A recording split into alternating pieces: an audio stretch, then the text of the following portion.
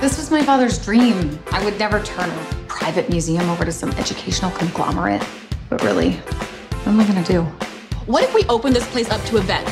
With the rental fee from weddings alone, in just six months, we'll be in the black. Let's do it. Put it on. Me? I'm not wearing that thing. Hey, hey, hey, come on.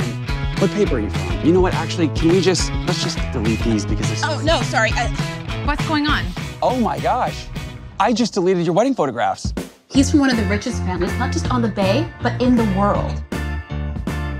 Why did you take that? Well, he was in that nice suit and you were in the dress and you looked like a couple. Luna, I may have accidentally sent out the save the date I made for our vision board. You mean your vision board? I swear the paparazzi followed me here. We need him to make a statement. You sure you don't want to just see if he'd be up for marrying you? It would take a PR miracle for you to change your image and sway dad's or anyone else's vote. Hey, honey. Trust you heard the news. She's a keeper, this one. What are you doing? Okay, hear me out. You said that you could use the publicity, right? You know, I could use a bit of a public image overhaul. We can't just pretend we're engaged. Why not? It would make a great story. Fiance needed some convincing. She's not used to the limelight. Mom, fiance, you're engaged? Mom. Oh, it's so good to see you. How are you? Wouldn't it look a little suspicious if my own parents didn't know about our engagement? Remember to act surprised. This is Luna, my fiance. What a surprise!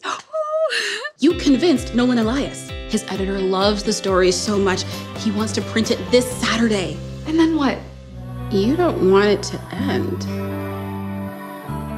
Luna and I are engaged. Well, it is pretty unforgivable, you know, faking a relationship with someone just so they'll vote you onto the board.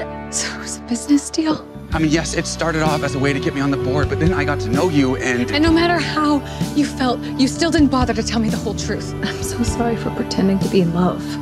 I know you, and I know you weren't pretending. I don't think I've ever seen you like this. You're in love with her. What if it's true? We have been spending all this time together, and you're a very special person to me. So when did you know?